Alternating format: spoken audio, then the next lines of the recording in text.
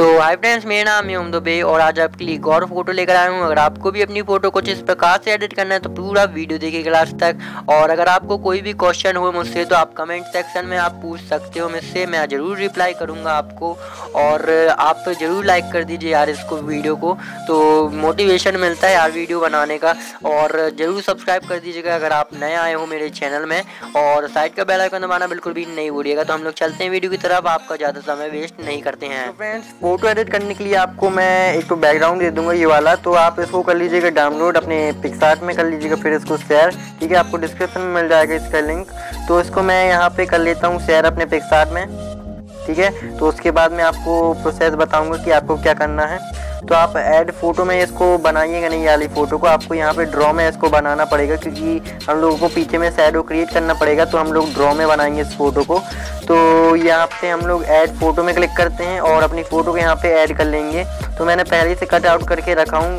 तो अगर आपको कट करते नहीं बनता है कि बैकग्राउंड कैसे कट करते हैं तो ऊपर में आई बटन में आपको एक तो वीडियो मिल जाएगा, आप देख के कर सकते हो। तो मैं यहाँ पे कट कर लेता हूँ और मैंने यहाँ पे सॉरी यहाँ पे नहीं, यहाँ पे मैंने स्टिकर में रख लिया हूँ अपनी फ़ोटो की, जो पीएनजी है। तो उसके बाद में मैं इसको ऐड कर लेता हूँ तो आपको ऐसे कट कर लेना है। तो उसके बाद इसको कर लेता हूँ मैं एडजस्ट ठीक है?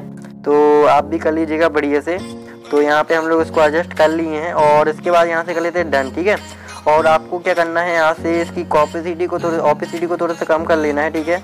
और फिर बाद में आपको क्या करना है, इसको इरेज कर लेना है। जैसे एक्स्ट्रा पार्ट यहाँ पे दिख रहा होगा आपको तो मैं ऐसा करूँगा यहाँ पे इसमें जाके और इसको कर लेता हूँ फुल ठीक है?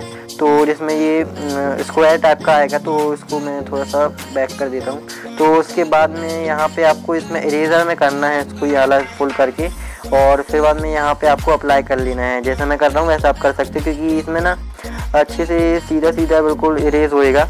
तो मैं इसलिए आपको बता रहा हूँ क्योंकि यहाँ पे आपको अच्छे से करना पड़ेगा इरेज तो आप ऐसे कर सकते हो, ठीक है?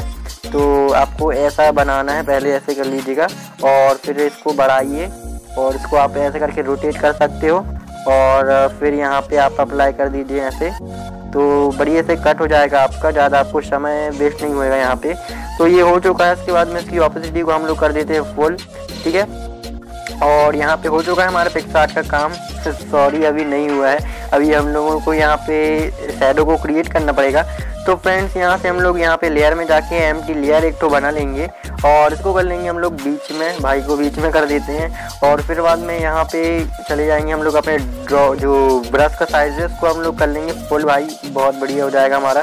यहाँ पे आप देख सकते हैं और आपको जैसा एडजस्टमेंट कर सकते हो आप, जैसे आपको यहाँ पे दिख रहा होगा और उसके बाद में यहाँ पे हम लोग अप्लाई कर देते हैं। तो आप देख सकते हैं, कुछ ऐसा कर लेना है आपको, ठीक है? तो यहाँ पे मैंने कर लिया हूँ। और ज़्यादा टाइम नहीं लगेगा आपको फ़ोटो एडिट करने में। तो यहाँ पे मैंने यहाँ पे क्लिक करना है आपको अपनी जो बैकग्राउंड है और फिर बाद में यहाँ पे थोड़ा सा छोटा सा कट लगा लीजिएगा आप, छोटा सा, ठीक है? तो यहाँ से हम लोग कट लगा लेते हैं, हो जाए कट तो इसके बाद यहाँ से हम लोग अपने फ़ोटो को कर लेते हैं सेव और इसके बाद में हम लोग अपनी लाइट मैप में चले जाएँगे यहाँ से। ज़्यादा समय वेस्ट नहीं करना चाहता हूँ, इसलिए जल्दी जल्दी बता रहा हूँ भाई लोग, क्योंकि जब लंबा वीडियो हो जाएगा ना तो फिर क्या मज़ा नहीं आएगा आपको। तो जल्दी जल्दी बता देता हूँ, ज़्यादा टाइम वेस्ट नहीं करता हूँ। यहाँ पर अपनी फ़ोटो को ऐड कर लेता हूँ, ठीक है? और फिर बाद में यहाँ पर हमारी फ़ोटो आ चुकी होगी तो ज़्यादा लंबा वीडियो बनाने भी नहीं चाहता हूँ यहाँ पर बन जाता है, क्या बताऊँ अब मैं। तो एक एक स्टेप बताना पड़ता है ना आप लोगों को। तो यहाँ से मैं क्लियरिटी और बढ़ा देता हूँ, और फिर बाद में इसे भी बढ़ा देता हूँ थोड़ा सा तो इसमें थोड़ी सी रिटचिंग रिटच करना ज़रूरी रहता है भाई लोग। तो यहाँ से हम लोग थोड़ा सा इसमें भी कलर में जाते हैं, और मिक्स में क्लिक करके थोड़ा सा फेस को कर लेंगे वाइट कोई सॉरी यहाँ पे नहीं।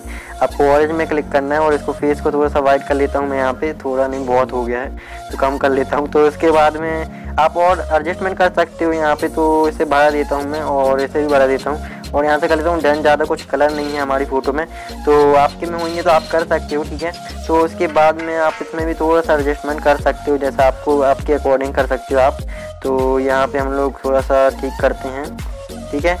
तो यहाँ पे हो चुका है यहाँ पे हमारी फ़ोटो एडिट तो आप देख सकते हैं, यहाँ पे हमारी फ़ोटो पिक्सार्ट में कुछ इस प्रकार की थी और हमने लाइट रूम में ऐसा कर लिया है। तो अगर आपको वीडियो पसंद आया ज़रूर लाइक कर दीजिएगा और चैनल में नए आए भाई तो ज़रूर यार सब्सक्राइब कर देना और साइड का बेल आइकन दबाना बिल्कुल भी नहीं भूलिएगा, क्योंकि आपके लिए ऐसी फ़ोटो एडिटिंग वीडियोस लाता रहूँगा मैं।